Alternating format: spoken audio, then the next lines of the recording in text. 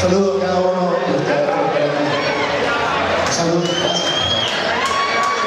Decidimos con la fiesta.